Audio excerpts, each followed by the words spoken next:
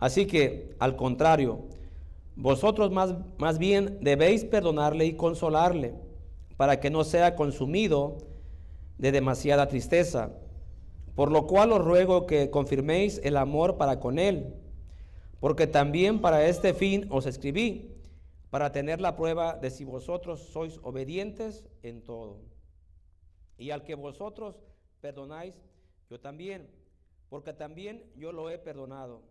Si algo he perdonado por vosotros, lo he hecho en presencia de Cristo, para que Satanás no gane ventaja alguna sobre vosotros, pues no ignoramos sus maquinaciones.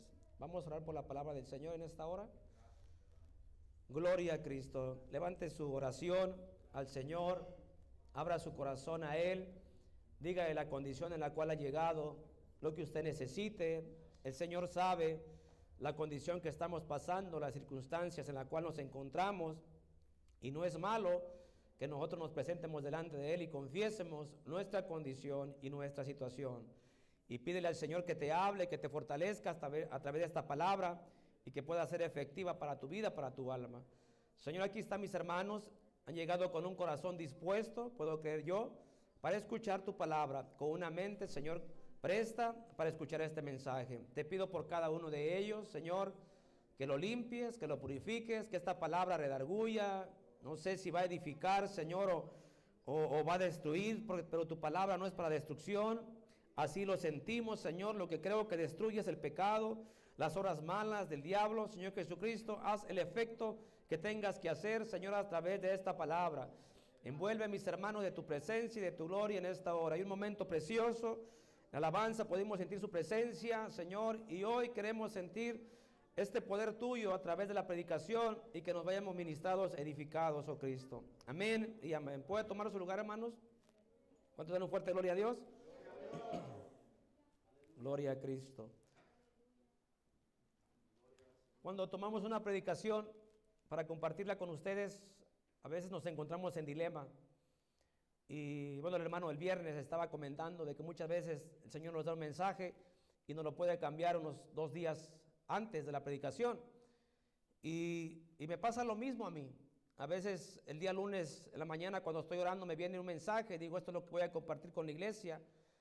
Pero hoy en la mañana y más hoy en la mañana que estaba ahí orando y leyendo para lo de la clase, pues me viene este pasaje bíblico y hay muchos puntos muy importantes a los cuales se refiere el apóstol Pablo que podemos aplicar a nuestra vida.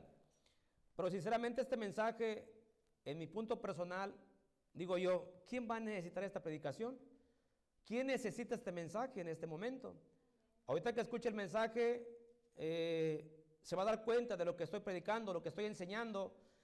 Pero sinceramente, en mi caso, siempre he dicho, en cuanto a este mensaje que voy a predicar, siempre he dicho, si si esta palabra que voy a predicar en este momento solamente fuera eso, yo siempre lo he dicho como dos, tres veces aquí en la iglesia, yo me fuera directo al cielo.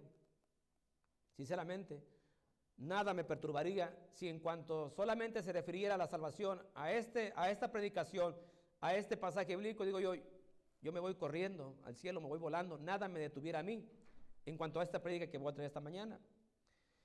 El tema podría ser, perdona al ofensor. O ama al ofensor como encabezado. Aquel que te ha ofendido, ámalo. Aquel que te ha ofendido, perdónalo. Llévalo bien. Que puedas amarlo como amas a Cristo. Y es aquí donde muchas veces patinamos como iglesia, permíteme usar esta palabra, donde muchas veces nos detenemos, que no queremos amar o no queremos perdonar a aquel que nos ha ofendido. Muchas veces no queremos, hacemos nuestro corazón duro, hacemos nuestro corazón de piedra y dejamos que pase un día, que pasen dos días, que pasen tres días y muchas veces no queremos perdonar al ofensor.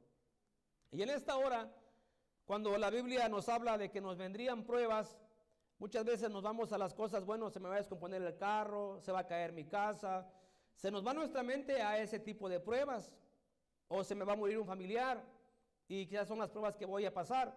Pero esta es una prueba para el cristiano. ¿Cuál prueba? Que te van a ofender, que te van a hacer un daño y que tú puedas amar a esa persona como amas a Dios. Esta es una de las pruebas de las cuales los cristianos se detienen y no pueden seguir adelante. Por eso en el libro de Hebreos habla de la amargura. que no brote una raíz de amargura. ¿Por qué? Porque esa raíz de amargura puede contaminar tu vida y puedes perder tu salvación.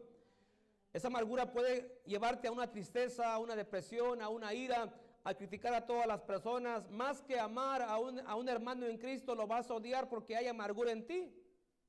Entonces, si estamos predicando bajo el tema perdona o ama al ofensor, esto es a lo que me refiero. En mi caso, no tengo problemas para perdonar a alguien que me ha criticado. En mi caso, no tengo problemas para amar a alguien que me ha calumniado, que me ha, levantado, me ha levantado un, falso testimonio. Yo me conozco y sé quién soy. Y cada uno de nosotros nos conocemos si realmente podemos pasársela a aquel que nos ofendió.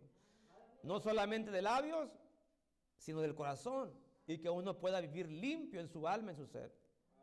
Ahora, quizás alguno, ninguno de aquí necesita esta predicación, pero bueno, vamos a recordarlo, porque a veces es importante que se nos recuerde si es que vamos a caer en la amargura o si es que vamos a caer en la falta de perdón y no pasar la ofensa al hermano que nos ha ofendido.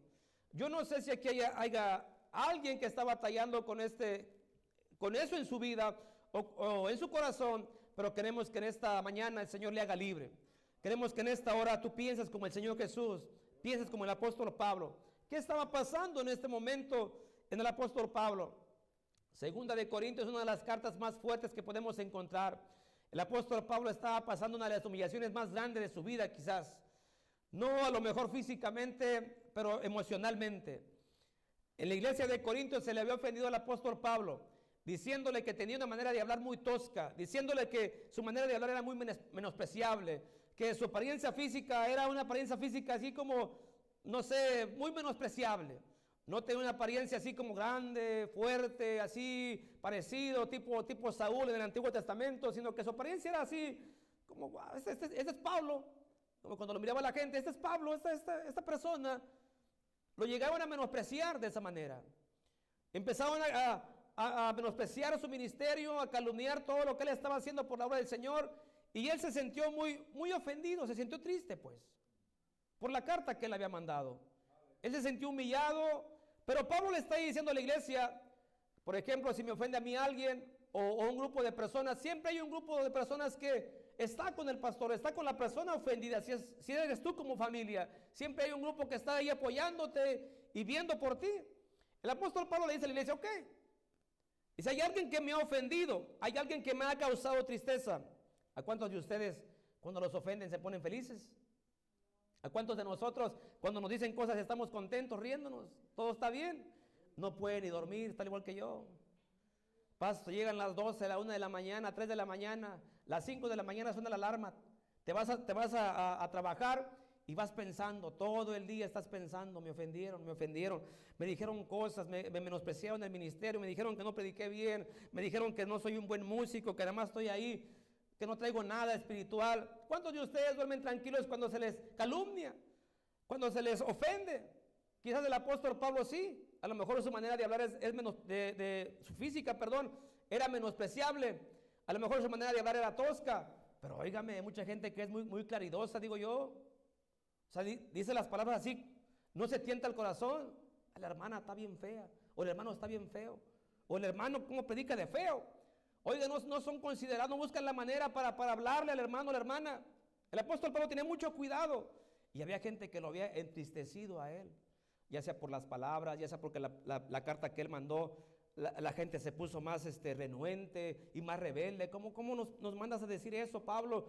Y muchos creen que la primera carta no recibieron muy bien se enojó la iglesia de Corinto y ahí se levantó un grupo de personas, no, ¿cómo le vamos a obedecer al apóstol Pablo? Y, se levanta un grupo para decir, ¿quién es él para hablarnos de esta manera?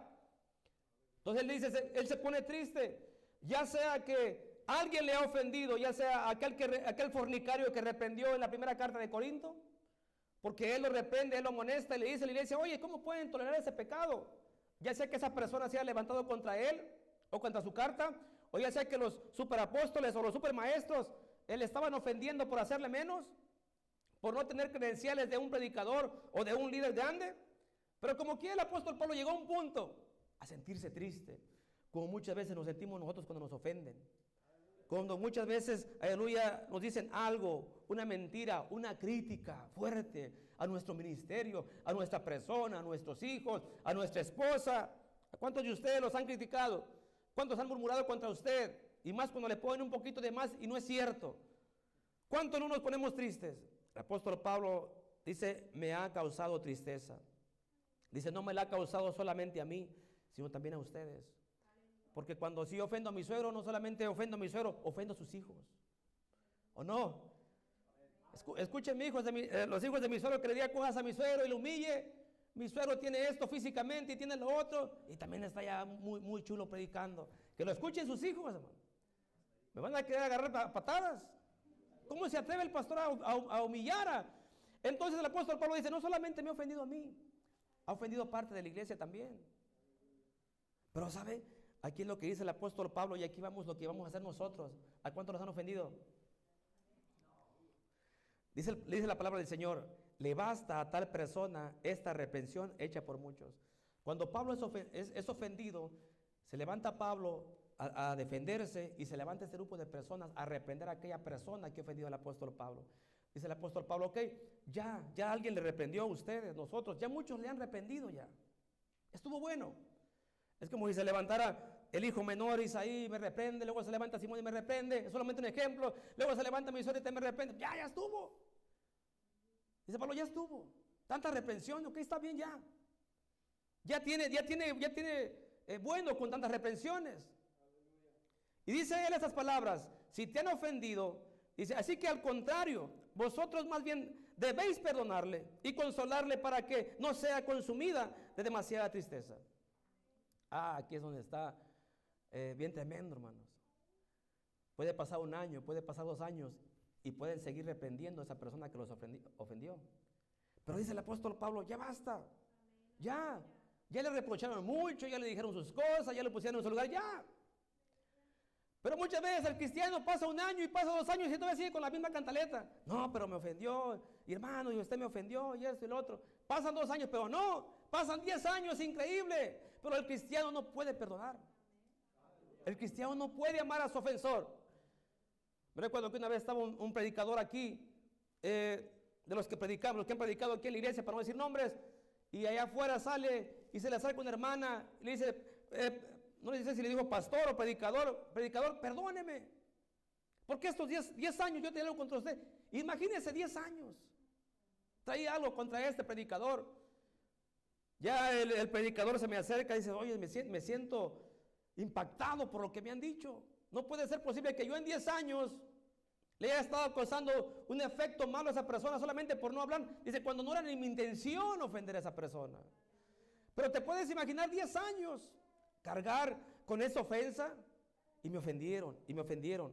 Y pasen 5 años. Es ahí cuando el apóstol Pablo está diciendo que ya estuvo, ya. Ya deja al hermano que te ofendió, ya deja a ese que, que ha criticado tu vida. Dice, al contrario, Perdónale y consuélale para que no sea consumida de demasiada tristeza. ¿Quién de, nosotros podrá perdonarle? Quizás ese es un punto, le perdonas, ok, te perdono. Me, me, perdona mi suegro, me perdona, pero que me consuele. Esto va más allá. No solamente es perdonar, es consolar, hermano.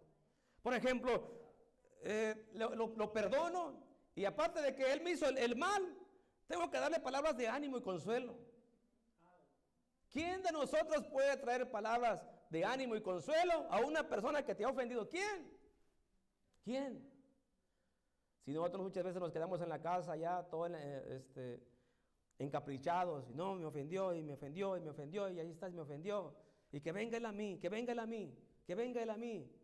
Pero aquí está diciendo el apóstol Pablo, no, tú consuélale a él, tú consuélale a él, acércate a él. ¿Es bíblico lo que está diciendo el apóstol Pablo? ¿Es bíblico lo que está diciendo el apóstol Pablo? Ahorita lo vamos a ver más adelante. Yo estoy creyendo que aquí solamente este, este mensaje es para recordarles a cada uno de ustedes que aquí todos estamos bien. Porque yo les dije en un principio, si esto fuera que yo me salvara, hermano, yo me voy contento. Yo, yo no tengo resentimiento en mi corazón. Yo no tengo odio en mi vida. Estoy, dispuesto a hacer las paces si es posible. Pero no, no debo de cargar ese resentimiento en mi corazón. Y aquí no es de pelear, que tú tienes, que yo tengo, que tú tienes, que yo tengo. Aquí es que tú sepas si tienes o no.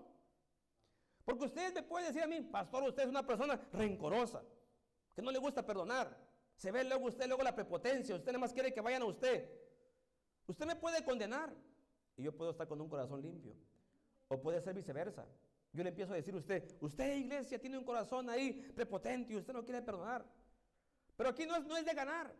Aquí no es de que tú o que yo o, viceversa, sino saber realmente cómo está mi corazón y cómo está mi vida. ¿Cómo, ¿Cómo camino yo delante del Señor? ¿Estoy caminando ofendido, amargado o estoy caminando libre o limpio delante del Señor?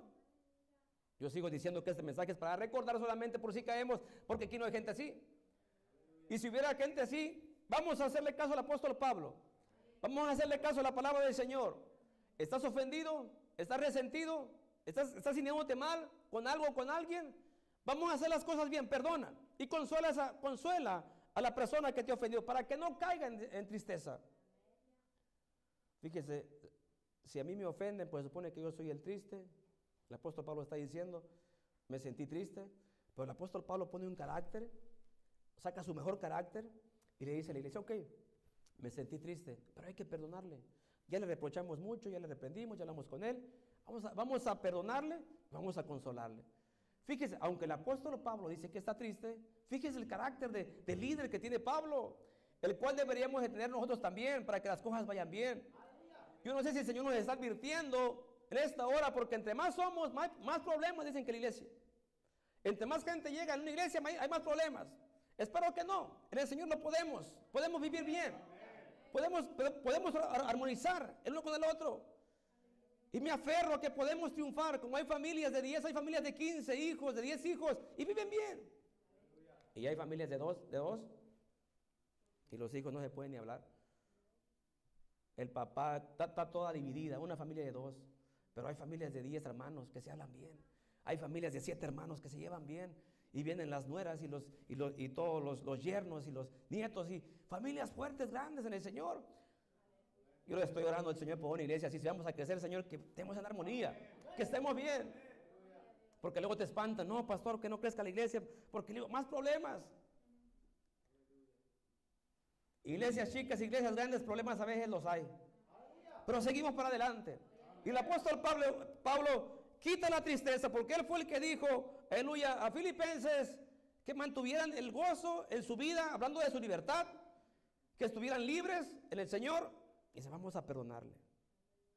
Y vamos a consolarle también. Si alguien te ofendió, esto es lo que dice Cristo. Ve a su casa.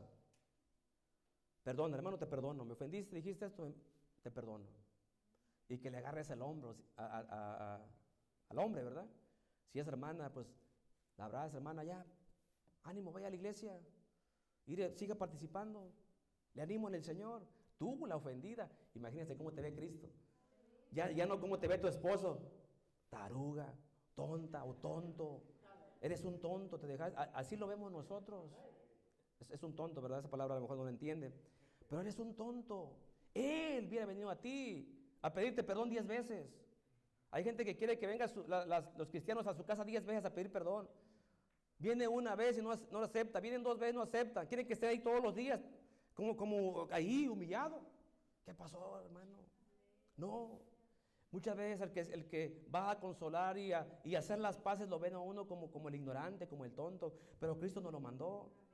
Cristo nos lo, nos lo mandó y el apóstol Pablo nos lo está mandando. Nunca le digas a tu hijo o a tu cónyuge, oye, no, no, no, tú no te rebajes. Que venga él si quiere.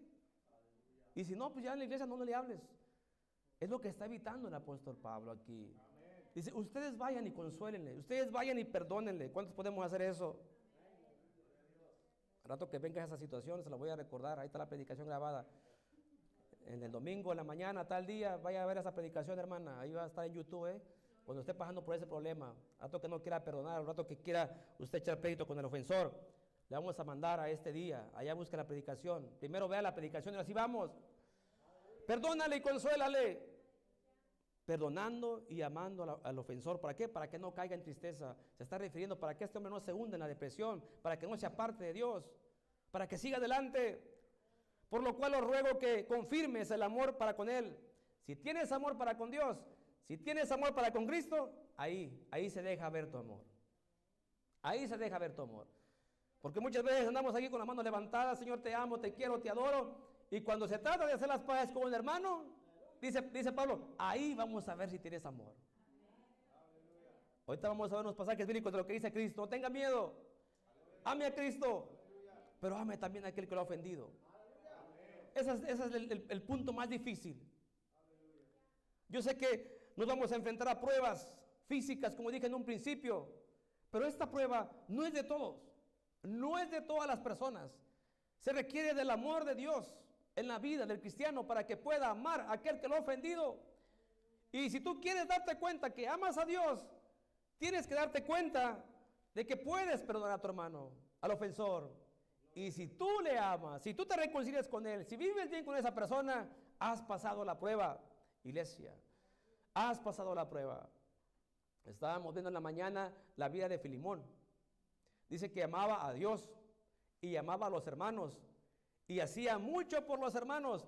Pero le dice Pablo, te pido un favor, perdona a, Onésimo, porque había huido de su casa, era un siervo, era un esclavo, y muchos dicen que se llevó dinero, pero simplemente con huir de la casa del amo ya era muerte, ya era pagar un precio, y Onésimo estaba destinado pues a morir, por decirlo de esta manera. Y le dice Pablo, si te he ofendido Onésimo, perdónalo, acéptalo, Estamos diciendo que Filimón, está amando a Dios, dice Pablo, y ama a las personas.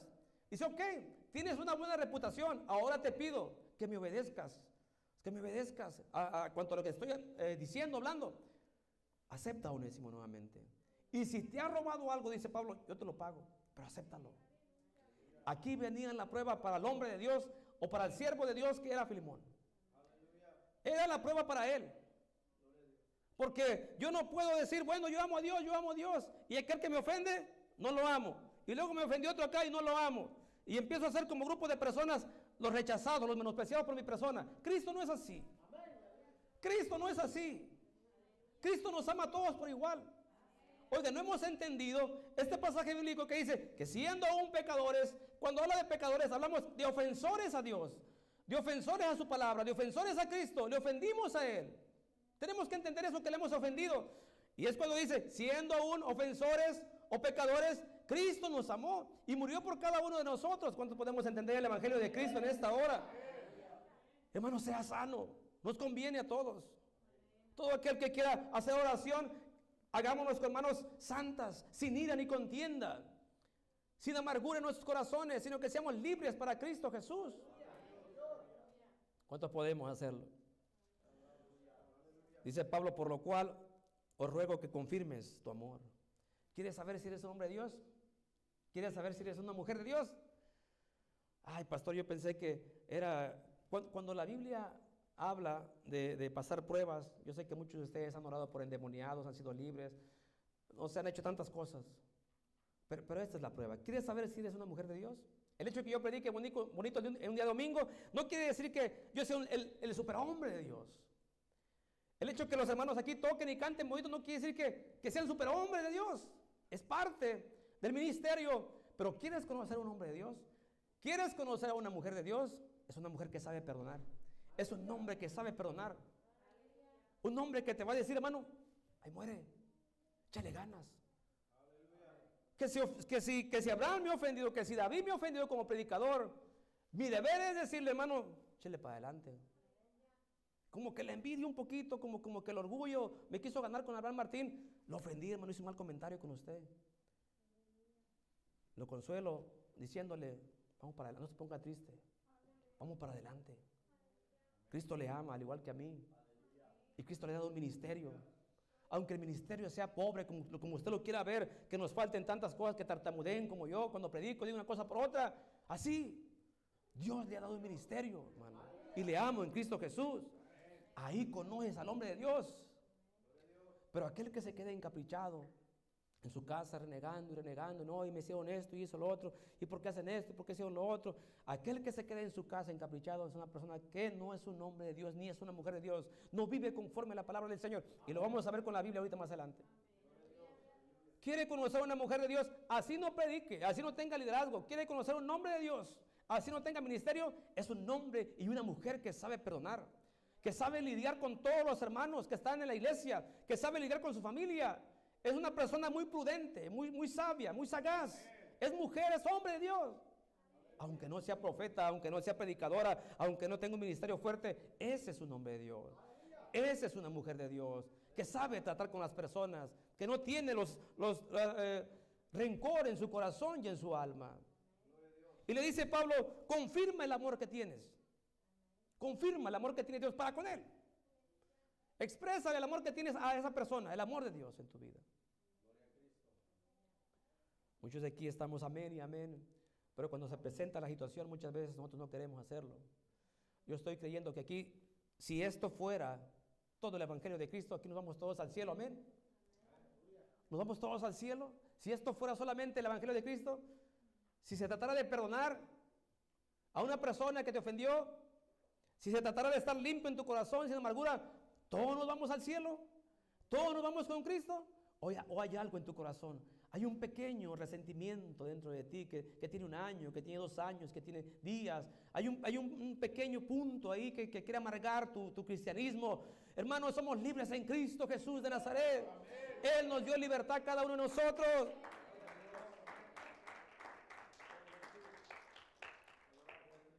Cuando, cuando nos enfrentamos a un problema, rápidamente ve las dos partes. Bueno, como pastor me ha tocado ver, rápidamente sabes quién se quiere humillar. Rápido, no un problema, de dos, dos, familias, dos personas. Tú, tú rápido detectas la figura, el perfil de esa persona este quiere, este no. Rápido. Si yo que soy humano, carnal, malo, sé discernir a veces, ¿tú crees que Dios no sabe? ¿Tú crees que Dios no sabe? Dios nos conoce y tú te conoces.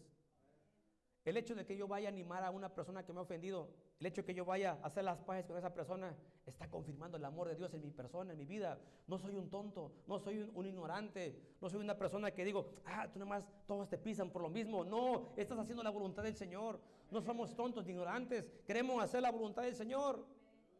Y es lo que dice Pablo, confirma el amor. ¿Quieres sacarte un 10 como cristiano? ¿Quieres sacarte un 100 como cristiano? Perdona y ama a aquel que te ha ofendido. Dice el versículo 9, porque también para este fin os escribí, para tener la prueba de si vosotros sois obedientes en todo. Aquí, hermano, se da cuenta si la persona es obediente o no. ¿En qué forma? Perdona. ¿En qué forma? Obedece a la palabra de Pablo. Dice, por eso les escribí, para ver si ustedes van a obedecer. Perdonen a la persona que ha hecho daño. Además, el daño se lo habían hecho a quién? al apóstol Pablo. Se me han ofendido a mí. Y como indirectamente ofendieron también a la iglesia. Yo les dije en un principio, si ofendo, si ofendo a mi suegro, él es el ofendido. Pero su familia también se ofende. Lo terrible de todo esto, o en lo cual podía caer la iglesia, es que Pablo pudiera perdonar a esta persona y la iglesia no. Esa era la preocupación de Pablo, que yo hiciera las paces con el ofensor y que la iglesia no perdonara al ofensor. Que mi suegro me perdone, por ahí a echar un café, me invita a comer, todo bien, y los hijos se quedan enojados conmigo. Ese es el error que Pablo quería evitar en la iglesia de Corinto. Ya, obedezcan. Yo le voy a perdonar. Ustedes también perdonen. Ustedes también hagan su parte. Hagan la voluntad del Señor y obedezcan a la palabra. ¿Cuántos de aquí somos obedientes? Con este fin yo los escribo, para tener la prueba de si vosotros sois obedientes en todo. El versículo 10, y al que vosotros perdonáis, yo también, porque también yo lo he perdonado. Lo que dice Pablo, y al que vosotros perdonáis, yo también, porque también, aquí tengo, gracias, aquí tengo, gracias. Dice la palabra del Señor, porque también para este fin, bueno, el versículo 10, y al que vosotros perdonáis, yo también, porque también yo lo he perdonado. Si algo he perdonado, por vosotros lo he hecho en presencia de Cristo Jesús. En presencia del Señor, Pablo ya lo había perdonado. En presencia de Cristo. Y aquí quisiera detenerme en este versículo 11. El versículo 11. Dice, para que Satanás no gane ventaja alguna sobre vosotros, pues no ignoramos sus maquinaciones. Nosotros vemos siempre en el exterior y estamos conscientes que Satanás está como un león rugiente queriendo destruir tu vida, tu ministerio. Todos creemos esa palabra del Señor, porque no hay ni un día que pase, no hay ninguna semana que no pase, que tengamos luchas y que tengamos pruebas por medio de Satanás. Pero yo dije, yo dije hace un momento, muchas veces queremos ver a Satanás ahí cuando se endemonia una persona. Muchas veces queremos ver a Satanás de otra manera, de otras tentaciones. Y nos cuidamos de todas las áreas, pero no nos cuidamos de esta área, la interior, la que está en el corazón. Y Pablo está diciendo, yo les digo todo esto por una razón, porque no quiero que el diablo tome ventaja en la vida de ustedes. O sea que si una persona es ofendida y no se limpia, no trabaja para que esa persona sea sana en su corazón, dice el apóstol Pablo, Satanás tomará ventaja en tu vida, en tu persona, si tú no te sanas. Es lo que dice el apóstol Pablo. Y esto es lo más terrible porque muchas veces no puede ayudar a una persona, a un cristiano, porque no sabe realmente lo que trae guardado. Si yo veo una persona que ya afuera está coqueteando con Satanás y es físico, yo me le acerco a esa persona y digo, ten cuidado. Ten cuidado, no juegues con el pecado, no juegues con Satanás, no juegues con las cosas, porque lo estoy viendo. Pero aquí lo que es el, resentimiento, lo que es el rencor o la amargura, ¿quién lo ve? Ya cuando está en su punto grande, ya, ya se, se, nota la amargura, pero en un principio, cuando está empezando el resentimiento, no se ve ni cómo ayudar a la persona. Y ahí lo traes una semana, dos semanas, tres semanas, un año, y está bien guardadito. Haces todo lo posible para que ese resentimiento esté ahí guardado. Y nadie se da cuenta. Y como les dije, otra vez, hace un momento, la hermana que salió le dijo al, predicador, por 10 años vengo cargando con esto. Wow, 10 años, bien escondido, donde esa persona se reía, venía a los cultos, alababa al Señor, creo hasta maestra de niños era. ¿Se puede imaginar qué escondido traía ese, pecado ahí? Y dice el apóstol Pablo, les digo esto para que Satanás no tome ventaja en ustedes. Porque una vez que está el resentimiento, una vez que está ahí la amargura en su vida, en su corazón, Satanás, Satanás perdón, va a, querer destruir su vida y su persona. Y empieza con los pensamientos, nadie te quiere, tu ministerio no sirve para... Empiezas tú solo a, a maquinar cosas, pero no eres tú, eres el enemigo que está trabajando en tu persona, en tu mente. Por eso el apóstol Pablo dice, yo quiero, yo quiero evitar todas estas cosas. Es por eso que debes de perdonar. Es por eso que debes de consolar a la persona. Es por eso que debes de sacar tu amor para con el prójimo, aquel que te ha ofendido y vamos, consuélale, pasa esta prueba. ¿A cuántos de, ustedes se les hace muy difícil esta prueba? No tienen que decirme. ¿A cuántos de nosotros se nos hace bien difícil esta prueba? No es que te ofendan y que tú estés esperando al hermano que te vaya a pedir perdón, sino que tú tomes la iniciativa. Es lo que dice Pablo, tú tomas la iniciativa, iglesia, porque yo ya le, ya le, ya le perdoné. Ustedes perdónenle, ustedes consuélenle, ustedes muestren el amor de Dios a su vida, a su persona, si es que te ha ofendido. Porque es fácil. A mí me ofenden, yo me quedo en mi casa dos, tres días, toda la semana, ya no voy al culto todo el mes. Pues que venga el hermano allá. Que venga el hermano. Que él tome la iniciativa. El apóstol Pablo está hablando en el sentido de Cristo. ¿Qué dice Cristo? Si una persona te ofende, ¿qué dice Cristo? Tienes que esperar a que venga. No. Tú acércate a ella. Y si no te hace caso, busca uno, busca dos, dilo a la iglesia. Pero tú empieza. ¿Por qué? Porque Cristo sabe que es importante que una persona cristiana viva sana en su corazón en su mente. No se debe de pasar por alto estar en la presencia del Señor. Iglesia, les ruego al Señor en esta hora que todos estemos bien, que no traigas nada guardado corazón y en tu alma. Cristo, hermano, nos ha dado la oportunidad para y hacer las cosas bien mentalizarnos porque el apóstol Pablo lo está diciendo, un superhombre de Dios, pero también Cristo lo dice. Cristo también lo dice. ¿Qué dice el Señor? No des cavidad al enemigo. No des cavidad al diablo. Resiste, resiste. Pero muchas veces no solamente la resistencia es aguantar enemigo que te esté golpeando, sino actúa, muévete en la presencia del Señor y haz lo que tengas que hacer. Mateo está diciendo, ama tus enemigos, para que seas hijos de Dios. ¿Cuántos quieren ser hijos de Dios? ¿O cuántos son hijos de Dios? ¿Sabe qué dice Cristo?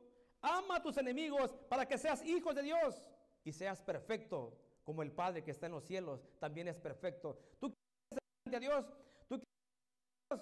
Ama a tus enemigos. ¿Quiénes son los enemigos? ¿Quiénes son nuestros enemigos? ¿Los, rusos porque estamos en Estados Unidos? ¿Quiénes son nuestros enemigos? Trump, porque eh, habló mal de los, de los inmigrantes. ¿Quiénes son nuestros enemigos? ¿Quiénes? Aquellos que nos ofenden. Aquellos que están murmurando en contra de nosotros. Entonces, si quieres ser hijo de Dios, ama a tu enemigo. Ay, qué difícil nos la puso Dios, ¿verdad? Qué difícil nos la puso Dios. Ama a tu padre, te ofendió. Ama a tu esposo, te ofendió. Ama a tu esposa, te ofendieron tus hijos. Ámalos, ámalos, ámalos. Muchas veces venimos con un resentimiento dentro de nosotros. Padres que están aquí de una edad ya avanzada, sus papás quizás los ofendieron mucho. Pero yo estoy creyendo que estamos sanos todos. Mi mamá ya no está conmigo, pero ella se convirtió en mi amiga, en mi aliada los últimos días, o los últimos años. Ella fue la que me incitó a sacarme una casa, a sacarme un carro. Ella, ella estaba ahí para, para ayudarme. Pero mi mamá era una, persona, que Dios la tenga en su gloria, que no me bajaba de idiota. Eres un idiota. Y me ponía apodos. Así venimos con una cultura que nos ofendía. Y a mí, eso, a mí eso me llenaba de odio, me llenaba de ira. Me sentía mal. Pero gloria a Dios que mi mamá cambió, vino a conocer a Cristo y fue cambiando y fue cambiando. Se, convirtió en una dulzura para todos sus hijos para toda la persona que, conoció a mi mamá. Ella fue una persona muy, muy noble, muy humilde, muy servicial. Pero tuvo sus etapas en el cristianismo donde me ofendía, donde íbamos a la iglesia y yo no hacía algo bien y me decía que era, que era un tonto. Era un tonto, así. Es un burro fuerte. Ya mis hermanas también tuvieron esa vivencia. Pero, no, pero el hecho de que tu padre, tu madre te ofenda, no te vas a quedar con ese resentimiento. Por eso les dije una vez más, si eso fuera que yo me salvara y me fuera al cielo, yo estoy libre. Yo a mi mamá no la odié. Sentía feo en ese momento y te quieres ir de la casa y dices, cuando sea grande me voy de mi casa porque mi mamá... Pero hasta ahí todo se quedó en pensamientos. Pero yo, pero yo nunca odié a mi mamá, nunca odié a mi papá, no odio a mis hermanas, no traigo aquel resentimiento, ni a ninguno de ustedes. Y siempre sigo diciendo, yo no estoy aquí como pastor para pelear. Que Dios me ayude y me dé la, paciencia. Por favor, por favor. Y sabe que resuena en mi mente con alguno de ustedes cuando me cálmate, cálmate, tú no eres un tonto, cálmate, tú no eres un tonto, tranquilo, tranquilo. Y estoy ahí. Y si eres tonto, estás viviendo conforme a la palabra del Señor, porque así muchas veces nos decimos nosotros, tranquilo. Estamos aquí para vivir en armonía como iglesia, los unos con los otros. ¿Cuántos quieren estar, viviendo bajo la palabra del Señor? No tomes esta predicación como, como oh, predicación del pastor y, y él le conviene. No, tómalo como parte de... Ama a tus enemigos para que seas hijo de Dios. O sea que aquel que no ama a su enemigo no es hijo de Dios. Aquel que no ama a su enemigo no es una persona que está buscando la perfección, porque nosotros estamos aquí buscando la perfección, pero no vamos a nuestros enemigos.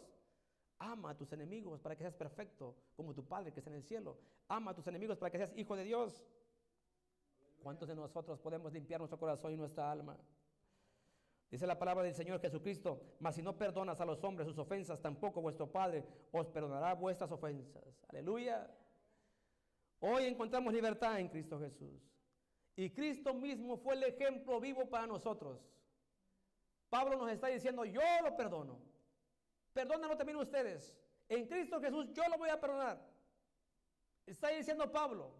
Y le dice a, Filimón, perdona, Onésimo. Porque Pablo también era un hombre que sabía perdonar. Que quería que las relaciones fueran genuinas en el amor del Señor.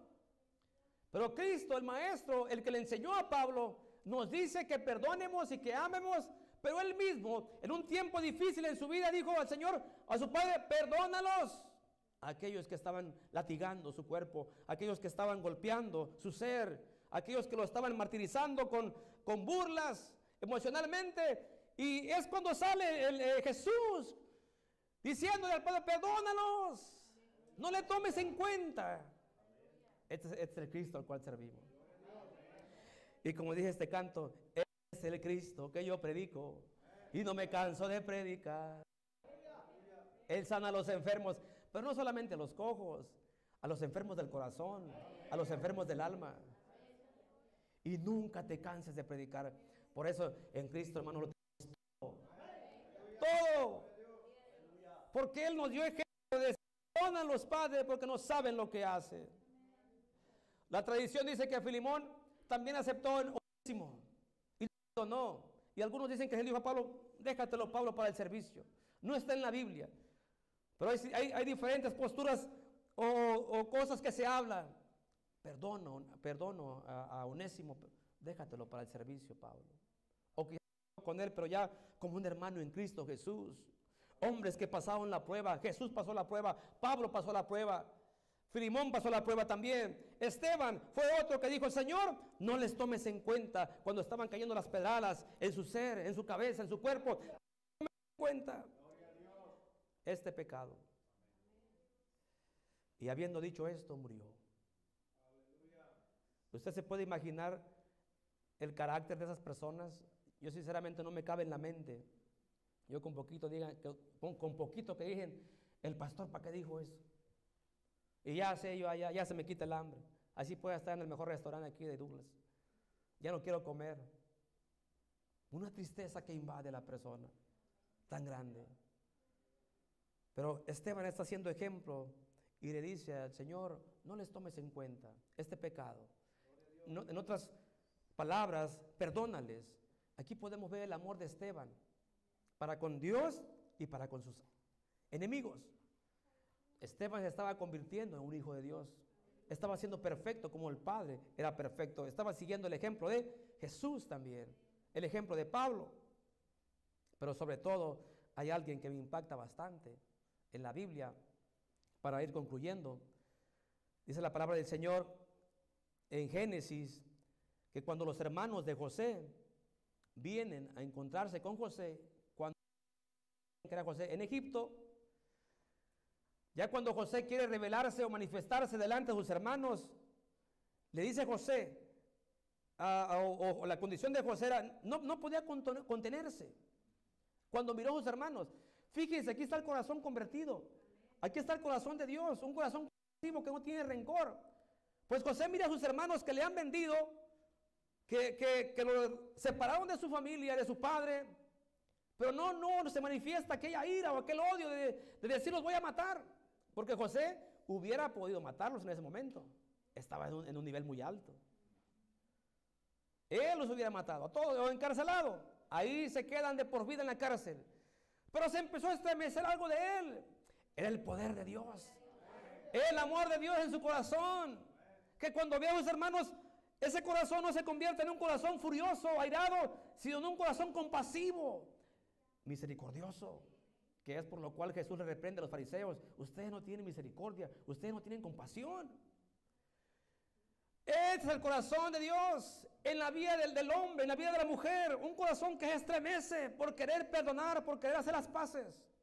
No se puede contener. Saca a todos de la sala y se queda solo. Y llora a gritos. Yo no sé si estaba peleando con el orgullo o, no sé, con su dignidad, le decimos perdón, no los perdono, pero, pero está llorando ahí solo, no quiere que lo vean. Pero por más que él puede, que él quiere contenerse, los gritos se oyen en toda la casa. Y todos los egipcios oyen el llanto de José. Aleluya. Hermanos, yo no sé cuántos tienen ese corazón. Yo no sé cuántos tienen ese corazón. Yo se me parte el corazón de gente que me ha, que me ha eh, murmurado, que ha criticado. Horas me dura ese sentimiento de, de parece que pelear con él. Horas, minutos a veces, un día lo más. Pero luego los veo y luego digo, se, se, se me conmueve el corazón. Digo, no, no puedo pelear con este hermano. No puedo seguir adelante. Ya, ya he contado una vez lo que me pasaba en el trabajo, lo voy a contar nuevamente porque aquí cabe, unas veces. Yo siempre en el trabajo aquí en el 2001, cuando trabajaba en la construcción, estos muchachos me hicieron la vida imposible como cristiano. Y comíamos juntos ahí y todo. Y de repente, digo yo, se les metía el mal espíritu. Uno de ellos me dijo, tú como cristiano, dice, fíjate que hay letrina, las azules de plástico. Dice, fíjate lo que es la letrina. Dice, si tienen el corazón ustedes los cristianos. Pero así con odio me lo dijo. hermano, yo me quedé para atrás. Pero al otro día, en la mañana, yo estaba comiendo tacos con él y comió de mis tacos. Ahí, yo dije, solamente tú, Señor, puedes darme ese corazón. Solamente tú. Que te ofendan así. En ese tiempo yo me gustaba la iglesia de senda debía levantar mis manos y a veces me aventaba unos brincos y se podían brincar ahí alrededor de mí y así le haces y así sacas el trasero. Una cosa horrible, hermano. Riéndose, burlándose. Pero al otro día, hermanos, me comía los tacos juntamente con ellos y le quitaba un taco a ellos. Me tragaba todo el orgullo, todo el resentimiento. En ese momento digo, Señor, estás trabajando en mi vida. ¿Y sabe por qué lo hacía? Porque dije, un día estos van a estar en la presencia del Señor. Si yo me peleo con ellos, yo voy a hacer tropiezo para ellos y me aguanto, me como todo lo que ellos me dicen. Por eso Jesucristo está diciendo, perdón, Isaías no abrió su boca. No abrió su boca, ¿por qué? Porque Cristo estaba viendo años adelante, esta gente se puede convertir al cristianismo. Y si yo peleo con ellos, los destruyo, todo se viene abajo. Por eso no quiso destruir a los de Samaria tampoco. Cuando los apóstoles decían que caiga fuego del cielo, no, no, no. Ustedes no saben ni de qué espíritu son. Porque él miraba 20 años adelante, 30 años adelante, 40 años adelante. Hay que mirar más adelante, no ver solamente en ese momento. Aquí conoces tú el corazón tuyo. Y yo no es que les presuma, sinceramente, no, estoy presumiendo. Pero, pero me ha pasado este tipo de cosas.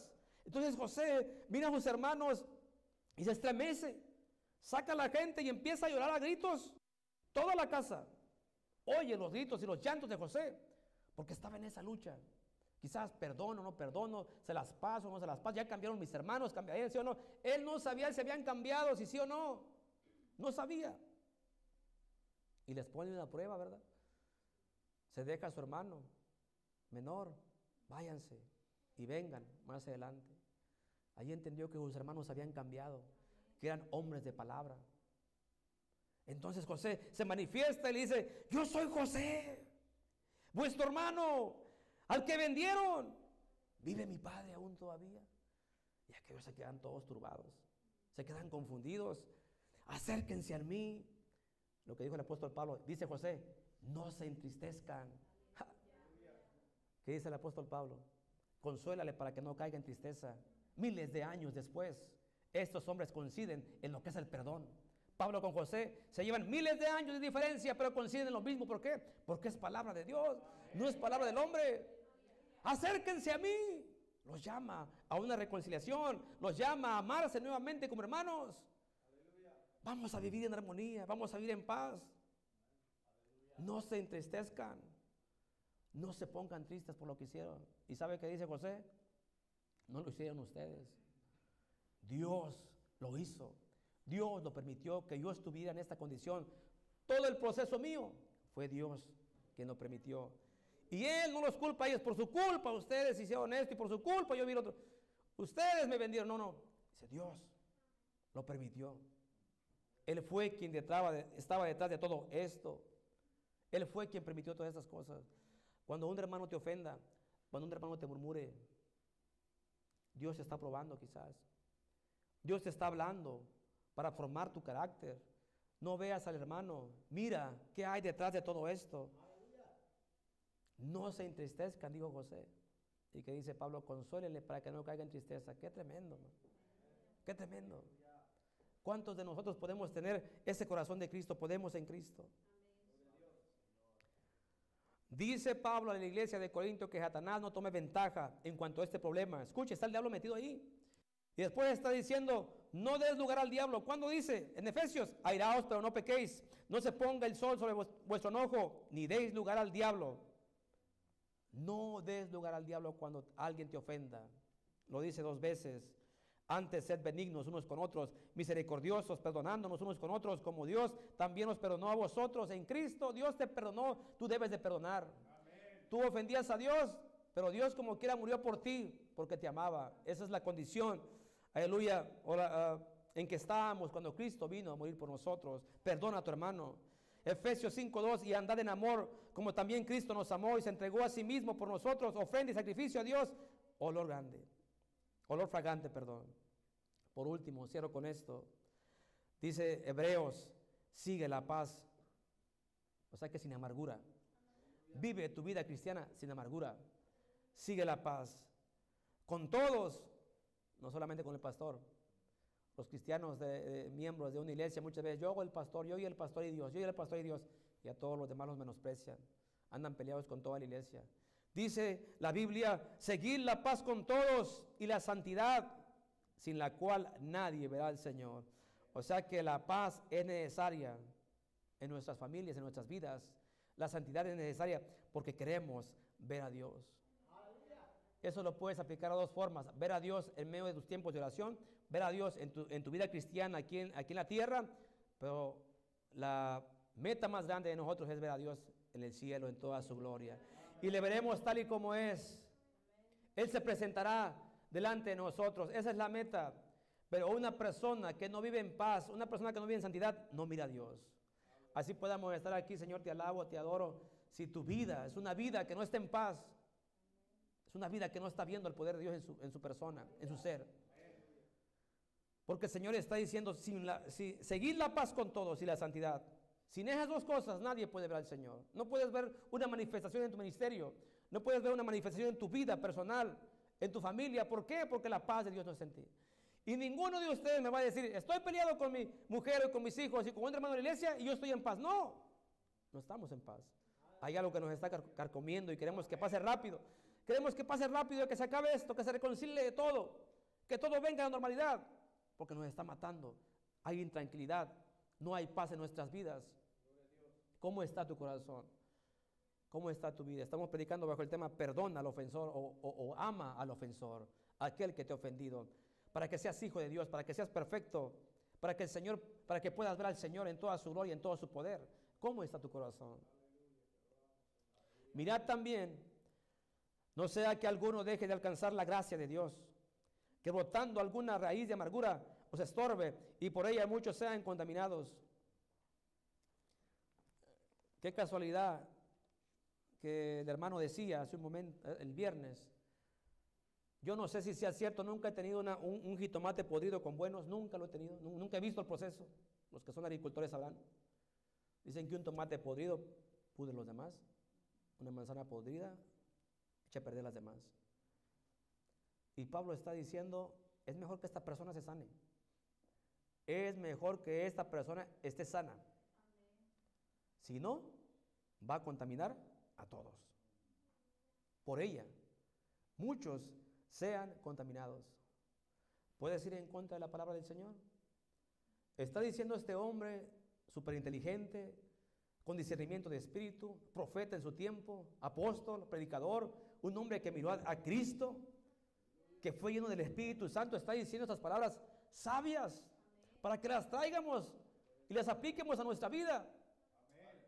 Que mejor se sane, porque puede que muchos sean contaminados. ¿Ya la mamá se amargó? Quiere amargar al hijo. Quiere amargar a los hijos con su conducta. Eh, tú no me entiendes y eso y lo otro. Y anda ahí aventando los platos, las puertas. Los hijos se espantan. Ya también los hijos también se enojan. Más adelante, tú también mamá y esto y lo otro. Y el esposo también. Y, se hace un, un, zafarrancho, decía un, un comentarista por allá.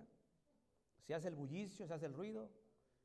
Y se viene esa familia aquí a la iglesia, aleluya. Que Dios quiera que no vengan.